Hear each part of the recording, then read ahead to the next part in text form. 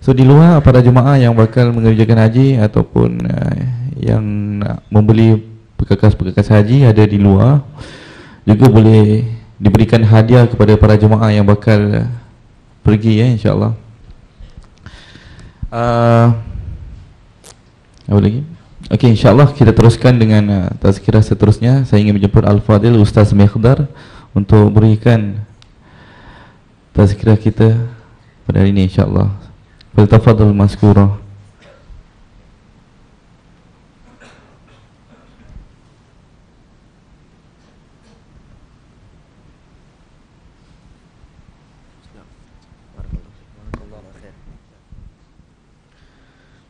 بسم الله الرحمن الرحيم. السلام عليكم ورحمة الله وبركاته. الحمد لله على ما يسره. من نشر منقول حروف العشرة ثم الصلاة والسلام السرمدي على سيدنا النبي المصطفى محمد وعلى آله وصحبه ومن تلا. كتاب ربنا على ما أنزل. وبعد فالإنسان ليس يشرف إلا بما يحفظه ويعرف. الحمد لله Para pengurus majlis jazakumullah. Dan saya hormati guru-guru, para asatizah, para ulama. Dan saya segani Para pemuda-pemuda yang handsome-handsome ada di hadapan kita hari ini. Terima kasih. Terima kasih karena kita semuanya yang hadir pada hari ini yang ingin saya ucapkan kepada semuanya atas kecintaan kepada Nabi Muhammad sallallahu alaihi wasallam.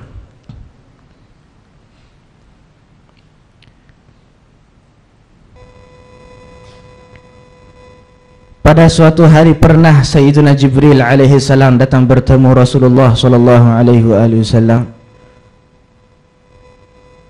dan menyatakan di antara maksudnya ya Muhammad sesungguhnya Allah Subhanahu wa taala menyuruh kamu membaca Al-Qur'an dengan satu huruf. Maka baginda Rasulullah sallallahu alaihi wasallam pun bersabda Aku memohonkan keampunan Allah Subhanahu wa taala dan keringanan dari Allah Subhanahu wa taala. Sesungguhnya umatku tidak mampu dengan yang demikian itu Maka pergi Sayyidina Jibril dan kembali hadir di hadapan baginda Rasulullah SAW seraya berkata Ya Muhammad Inna Allah Ta'ala sesungguhnya Allah Subhanahu Wa Ta'ala menyuruhmu dan umatmu untuk membaca Al-Quran dengan dua huruf. Maka baginda SAW sekali lagi bersabda Aku mohon keampunan Allah dan keringanan dari Allah Subhanahu Wa Ta'ala karena sesungguhnya demi sesungguhnya umatku tidak mampu dengan yang demikian itu. Nah perkara yang sama berulang sehinggalah hadir buat kali yang ketujuh. Maka Jibril Sayyidina Jibril alaihi salam menyatakan ya Muhammad sesungguhnya Allah Subhanahu wa taala memerintahkan kamu dan umatmu agar membaca Al-Quran dengan tujuh huruf atau kama qala sallallahu alaihi wasallam. Kita saksikan di sini jika kita renungkan dengan lebih mendalam atau kita kaji sedikit sejarah jika Injil, Zabur, Taurat diturunkan dengan satu bahasa para nabi-nabi mereka tidak minta rukhsah. Tak minta rukhsah tetapi turunnya Al-Quran dan Nabi Muhammad sallallahu alaihi wasallam sayyidina Rasul rahmatan lil alamin. Sebagai rahmat untuk sekalian alam memohon bukan sekali, bukan dua kali, bukan tiga kali, berkali-kali sampai datang tujuh huruf. Nah, hanya sedikit sinopsis karena saya sebenarnya kurang petah berbicara ya Ustaz. saya kurang petah berbicara. Namun saya lihat di jadwalnya diberi saya setengah jam. Wah, uh, panjang betul. Panjang betul. Jadi karena kekurangan saya petah dalam berbicara, saya nak sampaikan suatu perkara sahaja mengenai apa itu huruf. Kalau ikut fikiran moden kita hari ini atau yang biasa kita belajar di sekolah bapak-bapak. Kalau saya salah betulkan, huruf ialah A sampai Z, betul? Alif sampai Ya. Alhamdulillah. Jadi sebenarnya dari segi bahasa harfun artinya sebutan. Sounds.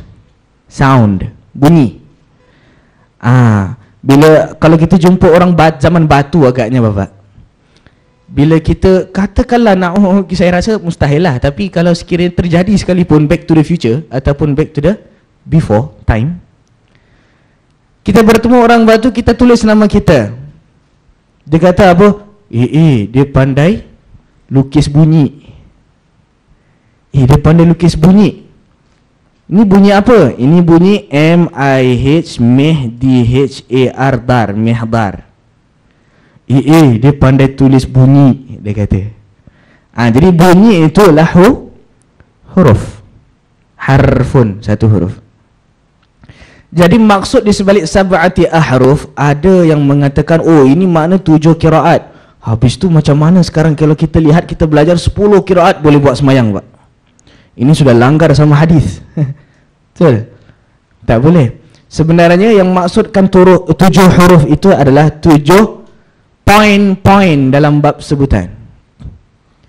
Tujuh perkara pokok dalam hal menyebutkan sesebuah kalimat atau sesebuah ucapan. Contohnya ada style. Ah, nak sebut sesuatu, sesuatu. Ada ada style kita sebut raw, ada style kita sebut ra. Ada style kita sebut ru, ada style kita sebut ru. Ada tebal, ada ti tipis. Ada fathah, ada imalah, ada kubra, ada sughra. Ada qalqalah, ada ada qalqalah, ada kubra, ada akbar, ada sughra. Jadi ini semua kalau kita belajar ilmu taj tajwid, alhamdulillah. Saya rasa ramai semua dah angguk-angguk kepala semua dah terror ni. Semua dah hebat dah ilmu tajwid di sini. Alhamdulillah. Angguk-angguk dari belakang. Oh, Masya Allah. Angguk-angguk. Masya Allah. Ya. Ah, tapi ada juga di antaranya yang tak ada dalam bacaan kita yang selalu kita baca. Ah. Ya, sebagai contoh ikhtilas. Apa ikhtilas? Ah, ini semua ni. Jadi ini dalam ini dipanggil cabang daripada cabang-cabang ilmu al-qiraat. Eh, uh, science of recitation, recitation of Al-Quran. Eh, iaitu kaedah-kaedah uh, dalam membaca Al-Qur'an Al-Quran. Khusus untuk Al-Quran khusus. Uh, jadi semua ada syarat-syaratnya. Kalau nak tahu kita boleh ikut kursus-kursus. Mungkin di Pergas ada mungkin di mana-mana. Di Az-Zuhri ada mungkin di Masjid Khadijah insya-Allah ada juga. Saya kurang pasti. Alhamdulillah ya uh, pengenalan-pengenalan tentang ilmu kira qiraat Namun satu sahaja yang semua bacaan ini berkongsi dalam satu perkara iaitu wajib bersanad. Di antara seperkara yang paling pokok dalam menyatakan qiraat itu mutawatir ialah sanadun sahih. Dengan sanadnya yang betul. Sanad ini uh, kita boleh ambil maksud daripadanya turun temurun. Bacaan yang turun temurun. Uh, daripada fulan dia baca dari siapa? Daripada fu fulan. Fulan baca dari fulan. Fulan baca dari fulan. Sampai kepada rasulina rasul sallallahu alaihi wasallam. Jadi ini bila ditepati qiraatnya sahih maka itulah bacaannya dalam sah salat jika didapati seorang imam membacakan sesebuah ayat Al-Quran khusus rukun dalam solat iaitu Al-Fatihah bacaannya tidak tepat maka bacaannya tidak tepat mengikut mana-mana daripada 10 kiraat ataupun yang termasuk dalam sab'ati ahruf tadi tu maka tak sah salatnya tak sah salatnya ya ha, dan ini disepakati oleh para ulama' Ha, oleh yang demikian kita bersyukur. Dan saya fikir-fikir dulu saya ini ada sikit strict bapak. Dulu ada sikit strict. Bila mula-mula dapat tahu kiraan ni wajib ada sanad Siapa tak ada sanad semua tak boleh jadi imam. Oh mak garangnya Tak ada bukan begitu. Alhamdulillah kita bersyukur. Sebenarnya Ilmu kita membaca Al-Quran Mungkin ada beberapa yang sudah uh, Sudah lebih uh, Jauh usianya dari kami-kami anak muda Pernah belajar mengaji dengan guru ngaji Di kampung. Ya. Kita letakkan keyakinan bahawasanya ya mereka juga belajar Quran daripada guru guru. Agaknya cuma dia tak hafal sanad aja pasal dia tak pernah bagi tak bagi tahu sah sanad. Tetapi ternyata bila kalau ada beberapa orang yang kita dengar bacaannya tidak tepat wajib kita te tegur. Alhamdulillah. Wajib kita Tegur, tegurnya pun tak boleh main marah-marah, hentak meja, angkat campak kerusi. Allahu akbar tak boleh. Belajar Quran lain sikit, Pak. Ah, kalau nak betulkan Al-Quran caranya mesti betul-betul ikut Al-Quran. Wa tawasaw bil haqqi wa tawasaw bis sabri ini banyak orang susah nak bikin. bil haqqi ramai orang berani cakap kerana apa? benar tapi bil sabri ini wallahu taala alam mudah-mudahan kita semua tergolong di kalangan orang-orang yang tawasaw bil haqq was sabr wa sabr insyaallah. Nah, jadi saya diberikan sedikit masa lagi uh, untuk sama-sama. Seperti mana yang pernah saya bacakan ke atas guru saya Al-Syekh Al-Fadil. Al-Syekh Al-Fadil Saifuddin Ibn Muhammad Ad-Din Al-Makki. Seperti mana beliau pernah bacakan uh, beliau terima kiraatnya daripada Al-Syekh Maulana Rahim Bakhsh di Masjidil Haram dan juga Maulana Karim Bakhsh daripada Muhyiddin Al-Fani Fitti daripada ayahandanya uh, Fatah Muhammad Al-Fani Fitti Al-Hanafi yang bersambung-sambung sehingga ke yang ke-30 orang di antara mereka ialah Abul Khair Imam Ibn Al-Jazari.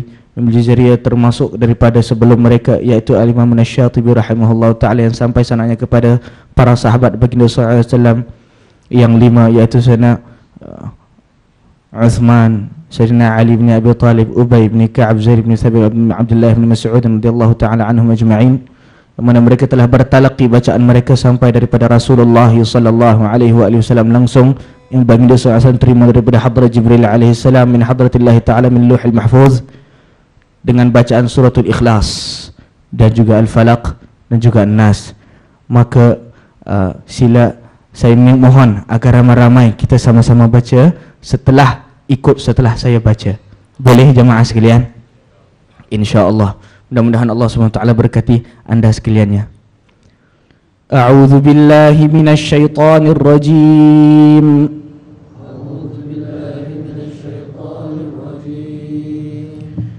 Bismillahirrahmanirrahim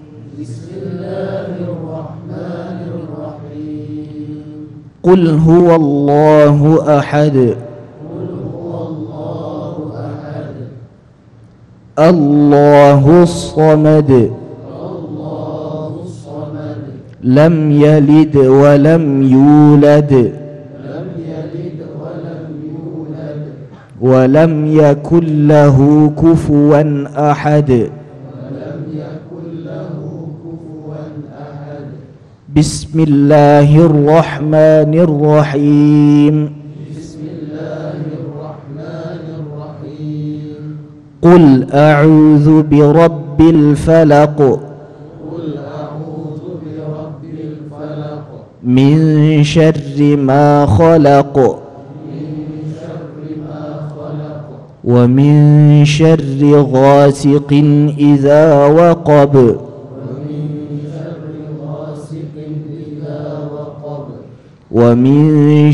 النفاثات في العقد.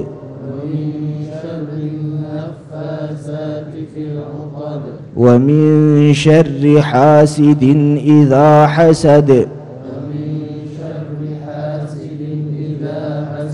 بسم الله الرحمن الرحيم. قل أعوذ برب الناس ملك الناس إله الناس من شر الوسواس الخناس الذي يوسوس في صدور الناس.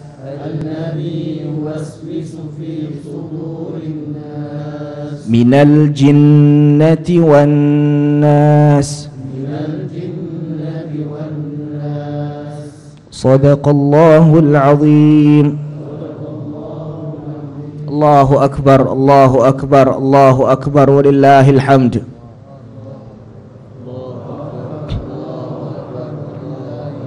الله أكبر الله أكبر الله أكبر ولله الحمد. الله أكبر الله أكبر الله أكبر ولله الحمد. أقول قولي هذا وأطلب منكم العفو. والسلام عليكم ورحمة الله وبركاته.